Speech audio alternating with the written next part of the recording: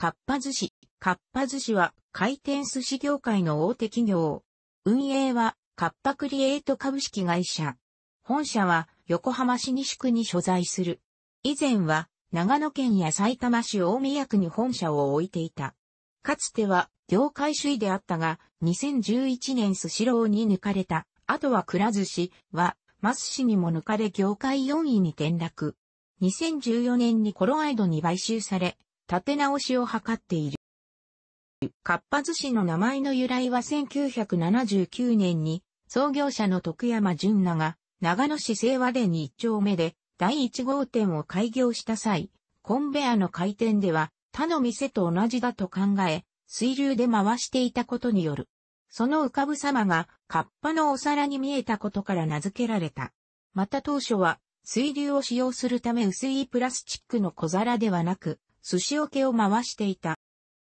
かつては小規模店が多く不審の時期もあったが、一般の回転寿司店よりも席が多く広い、店内にし、寿司は一律一皿108円、税込み。開始当時は消費税施行前につき100円にしたことから経営が上向いた。以前は11時から翌2時まで営業をしていた店舗もあったが、現在の営業時間は一部店舗を除いて11時から23時までとしている。なお、年末年始は20時で閉店する。通常のラストオーダー及び最終入店時刻は22時30分、または22時45分。リニューアル工事などを除き年中無休で営業している。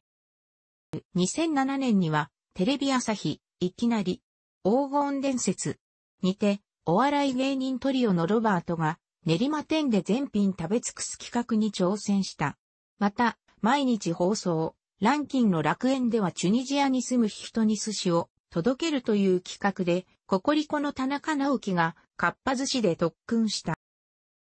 業界首位であったが、2011年スシローに抜かれる。その後、くら寿司は、マス氏にも抜かれ業界4位に転落する。業界内では、かっぱ寿司の一人負けの形となったが、その原因として2012年からの経営合理化で、利益率向上のための原価率の圧縮にあるとされ、美味しくない、ネタが小さいなどの悪評が広がり、客足が遠のいたとされる。売上原価率では43.7%と低かった2014年第2四半期。スシローが同時期48.3%。後の2017年4から6期には48.5%まで引き上げたものの既存店の客数は減少を続けた。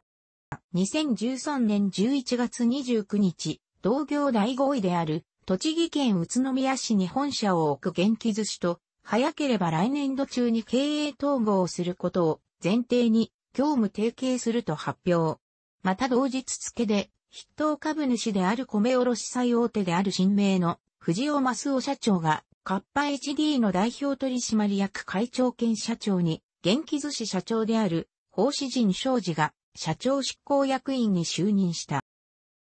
しかし、2014年10月2日の日本経済新聞に元気寿司との経営統合交渉を一度白紙に戻し、その上で、コロワイドからの株式公開買い付け、TOB や第三者割当増資を受け、コロワイド傘下に収め経営を再建すると報じられた。その背景としては、現在の両社の筆頭株主で統合を推進してきた新米ホールディングからの支援を受けている、両社双方の経営統合交渉が思うように進まず、客足が伸び悩み、既存店売上が2014年6月以後、2013年の同月実績を下回る状態が続いていたことを挙げている。その報道に対し同日カッパクリエイトホールディングス側は決定た事実はないとしていたが、同月27日に元気寿司との業務提携解消、及び新名ホールディングとの資本提携解消。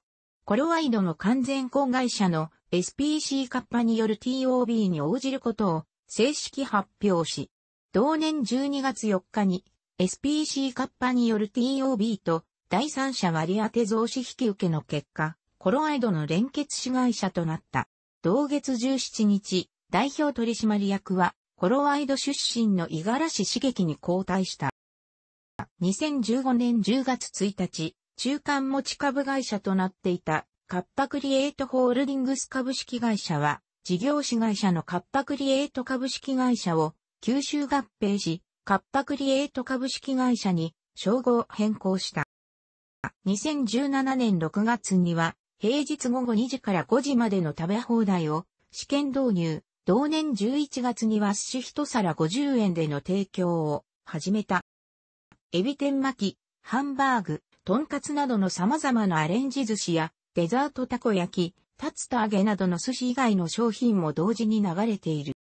サラダ軍艦は超人気メニューであり、公式ホームページでもその旨紹介されている。巷では、サラダ軍艦のためにかっぱ寿司が存在しているとも言われるほどの人気メニューであり、特に長野県で絶大な人気を誇る。フジテレビのバラエティ番組、めちゃにイケてる。で、ナインティナインの矢部博之が開発したコンビーフを乗せた軍艦巻きを一時期正式なメニューとして取り入れられた。なお、これは三俣店、群馬県前橋市三俣町のオープン時に撮影され、オープン記念のメニューとして販売された。寿司以外にも期間限定でデザート商品、オカレモンも販売された。そして2018年6月頃に、期間限定メニューとして、復活懐かしのコンビーフ軍艦という名前で、再び販売されている。注文は、タッチパネル形式となっている。タッチパネル形式のお店では、各客席には、タッチパネル式の端末が設置されており、流れている商品とは別に端末を操作して、商品の注文を行うこともできる。注文した商品は、寿司の流れている上にある特急レーンと呼ばれるレールの上を新幹線の形をしたトレイに乗って運ばれてくる。新幹線のデザインは700系もしくは N700 系のようなデザインが多いが E5 系やドクターイエローなど店舗に違うデザインも存在する。なお、一部店舗では特急レーンではなく各席ごとに色が決められていて皿がその席の色を示した容器の上に乗せられた状態で通常レーンで運ばれてくる店もある。最近では上下二段式の特急レーンが設置されている店舗もある通常レーンを合わせると3段。また、大量の注文やうどんなどのレーンに乗せることに支障をきたす商品は店員が運ぶ。会計の際には会計専用のボタンもしくはタッチパネルに表示されている会計ボタンを押すことで、店員が皿の枚数を確認に来る。会計の際は現金、または指定のクーポン、株主優待券などのほか、ビザ、マスターカードなどのクレジットカード及び電子マネーでは、ID、楽天エリ、ワオン、交通系、IC カード、7個、中国銀連ねが全店舗で利用可能。また、D ポイントも全店で利用可能。全店でクレジットカード、電子マネー、銀連を取り扱う回転寿司は大手では初めてである。なお加盟店開拓は三井住友カードが行う予定である。かっぱ寿司は2015年、平成27年1月24日現在において34都府県に339店舗を構えており、最も広い店舗は東京都練馬区にある練馬店である。関東地方を中心に、東北地方、中部地方、近畿地方には数多く店舗を持っているが、北海道、北陸3県、四国には未出店、かつては愛媛県や徳島県に数店舗あったが撤退した中国地方、かつては島根県にもあったが撤退した九州、佐賀県、宮崎県、鹿児島県の3県は未出店。では、店舗数が少ない。また、北海道網走市にも、同名のかっぱ寿司という寿司店が存在する。これは、全くの無関係である。2016年10月のコーポレートロゴ変更まで CM などにも登場していたキャラクターは、カッパ谷に暮らす兄弟カッパ。2008年7月からは、ぬいぐるみ、文房具、おもちゃなどのオリジナルグッズが誕生した。また、ホームページや携帯のコーナーでは、お父さん、お母さん、竜神様が登場する。